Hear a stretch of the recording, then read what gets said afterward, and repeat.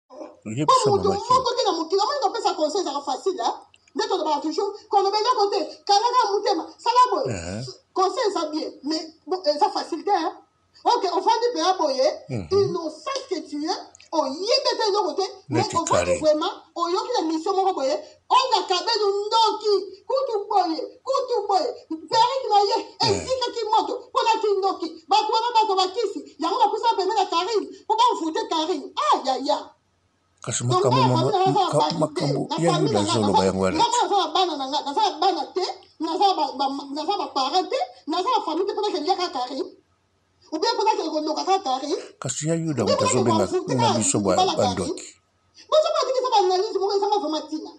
Vraiment ni eza ba analyse moko eza vraiment na nzela te. Oyo kutu ya Yuda asalaki eza discours. Kuna teka kuna teka ebele biloko sila teka na vie. Daza komesa ndenge na ndenge. Hein? eza faute na bino te mpo bodécouvrir ngai na internet yango mingi na biso bakanisaka bato mingi bakanisaka ke nga na bandingi mbala moko gu kabedu ndenge moko mpe ya yuda te adecouvrir karine kaka na internet nabandela wapi nasala nini na vi na nga donc bino mpo na bino bozomona kaka kabelu kaka kabelu kaka nalobaka yango ke lelo kaka oteki kabelu te lobi na oteka mai lobi na oteka mungwa lobi na oteka makala mpo naza commerçante te yo oyebi yo oleka yo na ndimi yo osa ya yuda te mpo ya yuda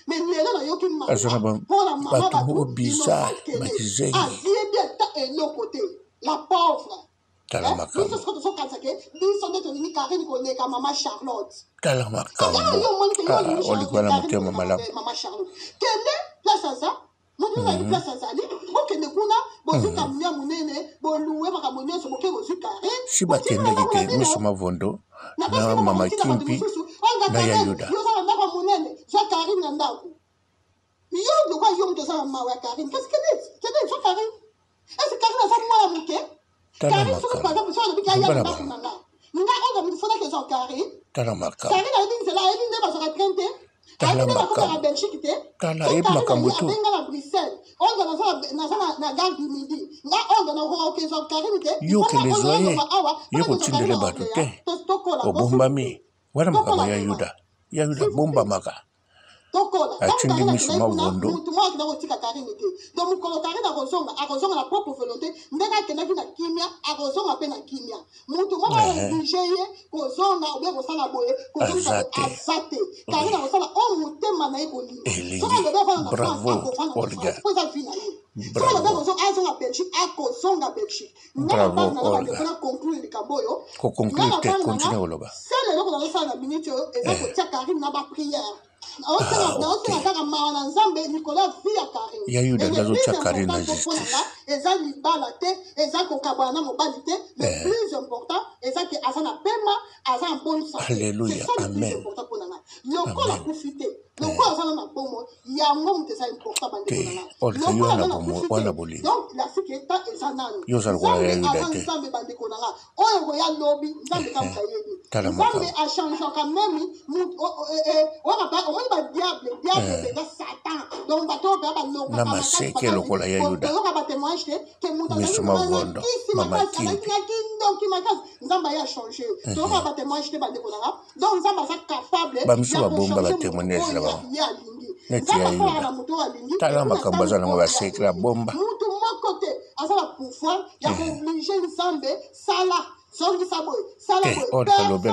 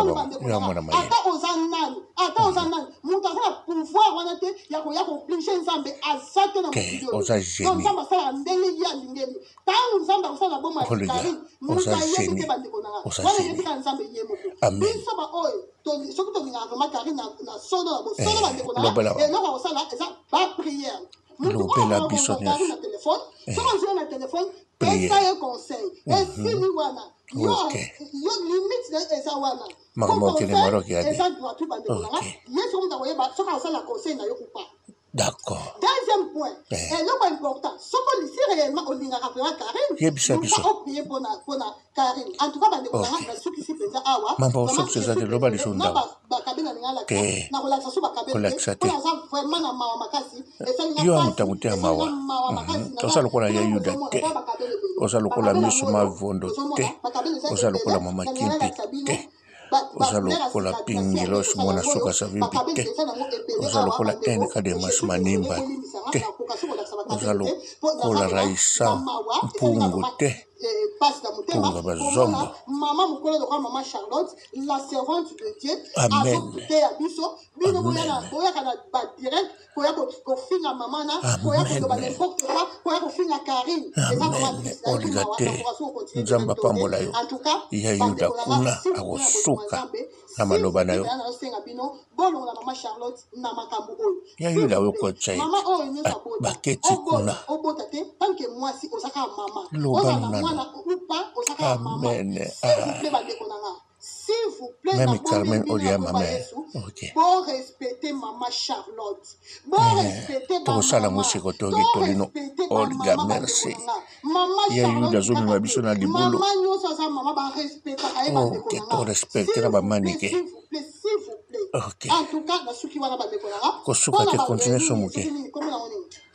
komona ngani eh, botrouble nanga kutu nini komona eh, ekiri mayanzi po bato mingi toza na comportement boye bobana na biso na ndako toteya bango nini eh, loba so biso mo toza ba comportement boye toza ba comportement ya kokende ba direct kofingaka baninga okofingana kofinga soki ofingi bongo bandeko soki ofingi depuis makambo ngo ebanda ndenge bosala ba direct ebele ndenge bofingi makambo nyonso bosali bofingi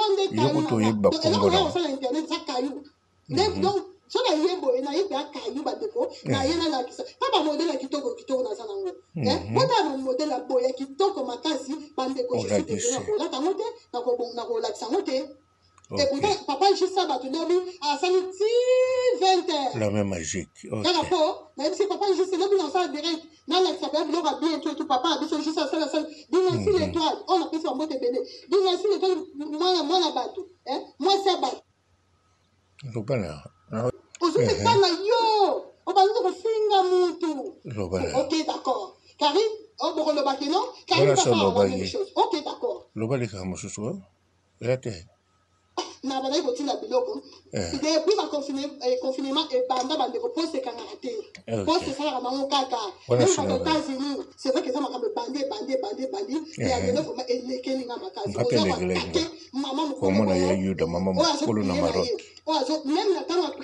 ate ozolobela mama charlotte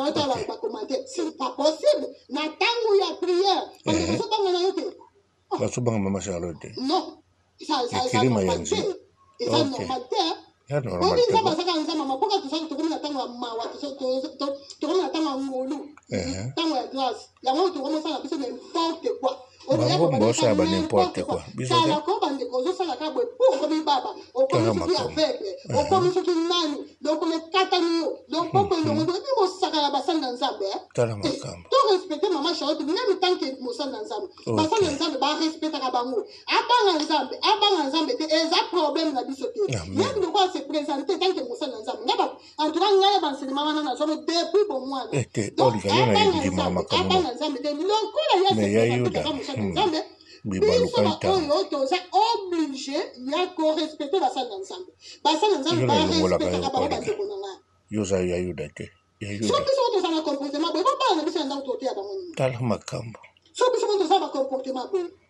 toza bacomportement ya kokende badirect kofingaka baninga kofinga na kofinga kofinga soki ofingi bongo bandeko soki mhm. ofingi depuis makambo ngo ebanda nde bosala badirect ebele ndenge bofingi makambo nyonso bosali bofingi tala makambo na youtube mbona youtube ezala combien Bonjour fidèle internaute de www.elengiakombatv. Bonjour, bonsoir, balandi nyonso ya elengi ya komba. Hein? Congolaise TV. Bote belé belé belé partout dans le monde, partout où vous êtes, partout où vous êtes, elengi ya combat TV vraiment. Bonjour, bonsoir, na abonné, ba fan nyonso ya elengi ya combat congolais TV. Bonjour à mon boss, on a appelé ça vraiment un panzi. Bonjour à mon boss, JP Kiama. Je salue mon boss Balobi.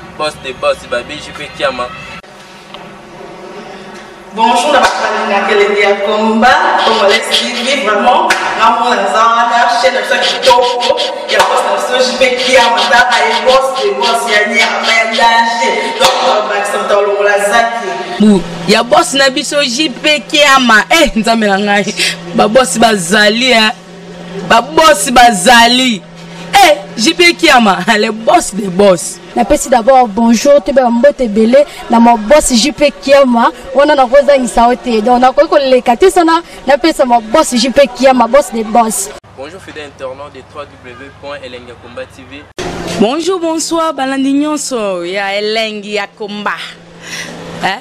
Congolaise TV. Bote belé belé belé partout dans le monde, partout où vous êtes, partout bozolanda Elengi ya Combat TV vraiment. Bonjour, bonsoir na abonné ba fan nyoso ya Elengi ya Combat Congolais TV. Bonjour à mon boss, on a appelé ça un vraiment un pandi. Bonjour à mon boss JP Kiama. Je salue mon boss Balobi, boss de boss Babi JP Kiama.